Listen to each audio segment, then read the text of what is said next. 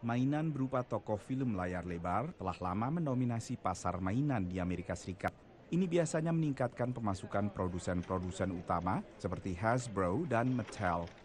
Toy Story 4 is going to be a spectacular new spring movie. We have the Jurassic line, which was an amazing movie last year with awesome products this year.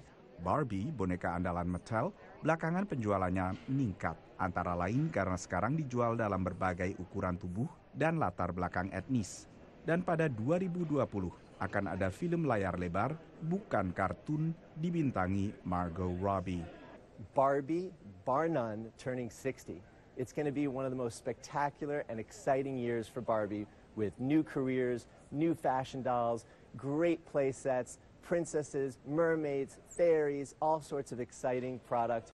Barbie's over a billion dollar property, and the key thing about Barbie, this year is the 60th anniversary of Barbie. And whenever Barbie has a big anniversary year, like the 50th anniversary Barbie 10 years ago, Barbie tends to have a really big year.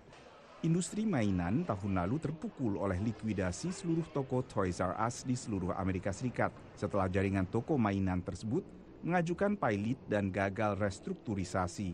In the toy industry, 2018 was a disruptive year because of the liquidation. 2019 will be a better year because there's no billion dollar liquidation and because retailers like Amazon, Walmart, and Target carry a lot less inventory, inventories are lower. So overall, the large manufacturers, small manufacturers, Hasbro, Mattel, they're very excited for this year.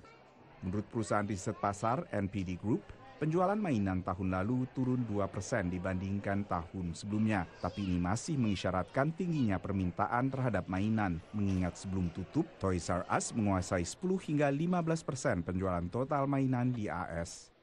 Menurut pantauan NPD Group, boneka dan juga action figure termasuk yang meningkat penjualannya selama setahun terakhir, masing-masing sebesar 7 persen dan 10 persen.